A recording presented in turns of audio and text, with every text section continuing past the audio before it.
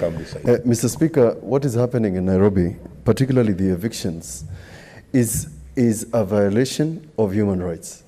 What is happening in, uh, in Nairobi in the middle of a pandemic is actually an international crime. It's an international crime because those people are staying out in the cold. Those people are mixing with people who they don't know whether they're infected. Mr. Speaker, something is wrong with this government. God needs to find something about this government. There is something wrong about the way they treat uh, human beings. As if this government was elected by cows and goats. Mr. Speaker, and the complaints, majority of the complaints, when I sit on this side, Mr. Speaker, I wish I was in government. Because the majority of the complaints are from the side where we're in government. People seated on this side, I wonder, what are we supposed to do when the majority of the people issuing complaints are sitting on the majority side? What is your point of order, Senator? Mr. Speaker, Sakaja. apa- apart from uh, the point of order on relevance, because I'm talking about people who are homeless, every senator in this house, whether in the government side, in fact, there's no government side, majority or minority, are supposed to oversight government. So I don't know why the members in the minority are uh, cheering when they see that even us we are oversighting and nobody complains. This is not a house of complaints, it's a house of oversight. Whether you're in Jubilee or NASA, let's oversight government. The, the, the, the members, the What, members. what is your point of order? But let's not lose focus of, uh, okay. Mr. Speaker, I have said over and over again, as the majority leader, this house is called Senate. It is not the government of President Uhuru Kenyatta and it's not executive. Mr. Speaker, the Senate all over the world and Parliament all over the world, whether you are elected from the party that formed the executive or not, your responsibility is to oversight the executive. There might be cases where all of us, there will be no minority. In many, let me tell you, Mr. Speaker, in many counties, including mine, there is no minority side. Do you want to tell me that then there will be no oversight of the county uh, governments in, in, in Elgeyo Marakwet County because everybody was elected in Jubilee? Please give us a break. We are parliament. Everybody here has a responsibility to come and defend, Mr. Speaker, the rights of the people because our responsibility is parliament, it's not executive. Proceed, Senator Mutula. Uh, You know, the statements I'm making are bitter, but I have to make them for them to understand that, Mr. Speaker, that there is a reason why we are a minority and there's a reason why there's majority. Mr. Speaker, that said, there's no difference between what happened in Elgeyo Marakwet where people were abandoned after the mudslide. There's no difference about what happened in Solai when people died. There's no difference about what's happening in Nairobi. All of it is the same, the same line. A government that does not value human beings. It doesn't give. I've provided power to them is power. Power is sweet, it's sweeter when it's concentrated. Power corrupts, power has corrupted. And therefore, Mr. Speaker, other, the, I agree with Senator Murkomen on the, on the point that we cannot wait for a week. Children are hungry. It's possible that nobody is going to offer any of these landless people accommodation. It's, it's sad. Why could somebody wait for another day to, to do this? And therefore, Mr. Speaker, the answer must come immediately.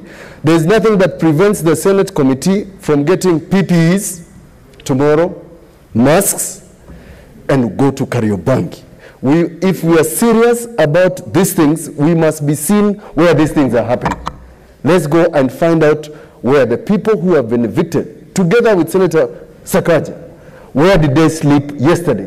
Where are they sleeping today? Where are they getting food? Where are the children going for their most simple, basic human dignity? To the sanitation or toilet. But lastly, Mr. Speaker, Order, Senator Ledama, relax. yes, I know proceed. the- Recently, I mentioned the book of Revelations, and Senator Ochillo Ayacko told us about where this book was written. When finally judgment is written about this government, I'm telling you, only the book of Revelations is going to tell you there will be gnashing of teeth. There will be a bottomless pit for members of this government. Thank you. Senator Ledama. Then Mr. Speaker, sir, I am ashamed to be in this house during this period. We are completely failing. Human beings are being terrorized, stigmatized. Mr. Speaker, sir, even during the holy month of Ramadan, I'm not a Muslim, but I sympathize with the people who are evicted. So, Mr. Speaker, sir, this is about time that we say no to the executive. I'm completely against the militarization of this county called Nairobi. What is happening is against the Constitution. Mr. Speaker, sir, Article 187 of the Constitution is very clear. It is very clear on the issue of transfer of functions. And I'm so glad that even today we suspended the de- debate on CARA. So, Mr. Speaker, sir, whatever is driving this move of demolition of houses, which I can only sum as commodity interest versus in community interest, must come to an end. Mr. Speaker, sir, this Senate must come out very clear and tell the executive that what you're doing is evil. It is completely unabominable.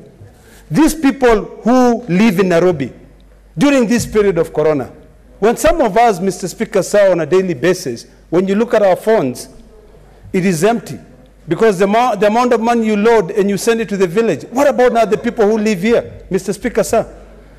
Mr. Speaker, sir, I want to request that the committee, and not only the committee, the entire Senate, and must actually come out. Order, and Senator call- Malala, uh, observe the social distancing, please. Okay. Mr. Speaker, sir, they must call this government and whatever interest, whatever drive is moving these people to uh, abuse the human rights of these individuals who live in this county must come to an end. Mr. Speaker, sir, what I would request each and every senator tomorrow, let us go there, let us stand with those Kenyans. They need us now. All these commodity interests will mean nothing during this corona, uh, coronavirus period. Let us respect human, you know, the human beings. Senator Abshiro, I'll, I'll come back. I've noted. Thank you, Mr. Speaker. Mr. Speaker, I don't want to belabor this, but the gross violation of rights of the people, the most vulnerable in our society at a time, cannot be gainsaid. But one of the things that I have observed is the fact that there's no consequence to violations of rights in this country. I think even if we go, we might be seen to, to have reacted to it, but for as long as those people go and, and, uh, you know, and account, without accounting for the, for the things they've done, the duty bearer for this is the government, the duty bearer for this is the executive, but no, be it Solai, be it other gross violations, we've not seen consequences. So how different is this going to be even if we all go there? So for me, what I think is this, Senator Sakaja, and congratulations for bringing it, we have a thematic area under social justice and human rights, even in the, in the COVID committee. And because these people have been exposed to the COVID committee as well, perhaps we could join hands with the, with, with the committee of lands where I sit and make sure that we bring the people to book and hold government accountable. Mr. Speaker, the issue is that there's never a consequence. When is there going, is- when, when is this House going to achieve a situation where gross violations of our Constitution and the rights of our people actually get a consequence for the perpetrators of this. We're looking like we just want to go there, but let's see what action would ensure that people pay for these violations. Thank you, Mr. Speaker. Mwaura. Thank you, Mr. Speaker. Mr. Speaker, since people started wearing masks, and uh, I think they are speaking from both ends of the mouth because some sound must come from somewhere. Because, I mean, who is speaking here, really? You know, who is speaking here? Because by the end of the day, uh, we are living in very interesting times. The moment COVID came, and there is no official opposition, then you are hearing what Mao Zedong calls contradiction in the womb of the people. And the people around here are the ones who are complaining. So I think we must also legislate, maybe in the future, that you should always have an official opposition, so that government must not speak, you know, against itself. Mr. Speaker, What's your point of order, You know- Senator Orengo? you know, Mr. O- Order, order. On a point of order, Mr. Speaker, the senator for uh, Senator Mwaura cannot get away with this. He's in, living in an age which is gone. The official opposition existed at a time when we had a parliamentary system. We now have a presidential system where the Senate as a chamber is a distinct organ of government. So the minority and the majority are supposed to put the government of the day in check. The executive is not in this house.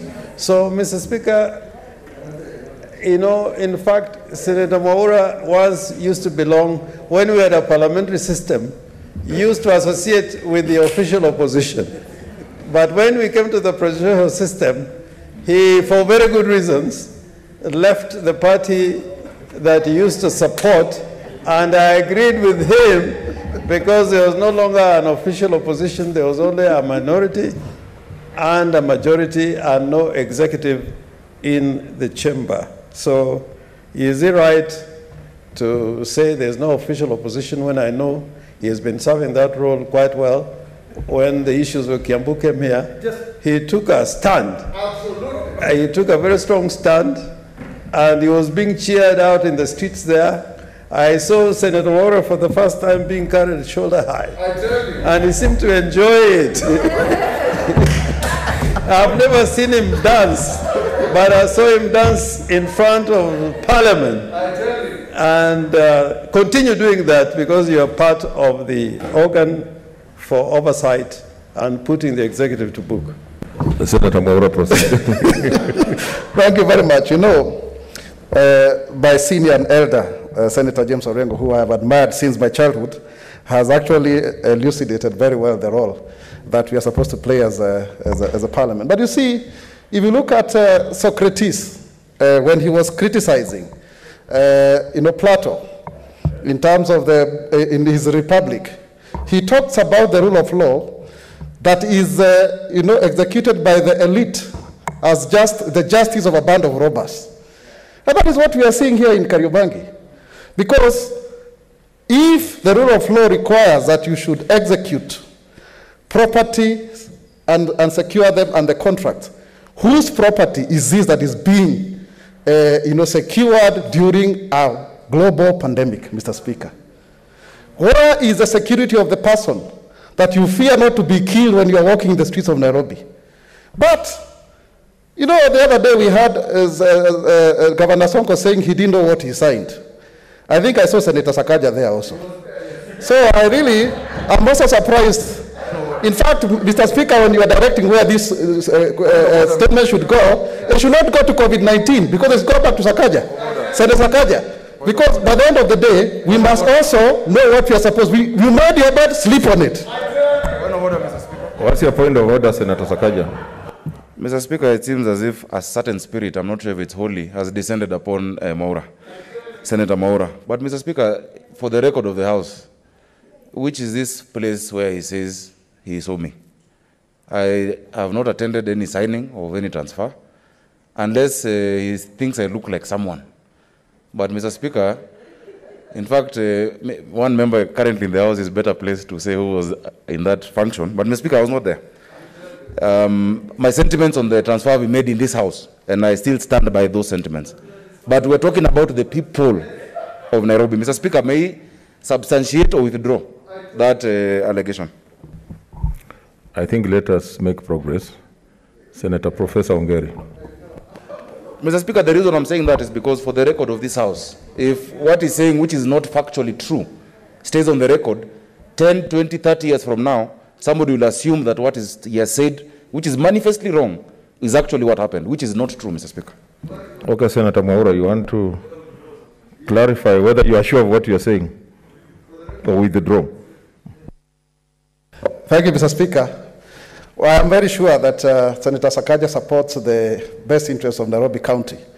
And I stand with him in ensuring that uh, we as a House, that uh, we stand with the people of Kariobangi and we must defend them. To the extent that uh, maybe a caricature of himself may have appeared to have been in the signing ceremony, No, I no, stand no. guided. You, you, you, it, it is a very straightforward question.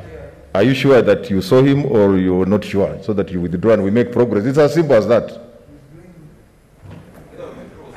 Mr. Speaker, you were present in the signing ceremony, so I stand guided by who was actually present that time. As, as far as I know, he was not there, if that is what you want me to say. So I stand guided, Mr. Speaker.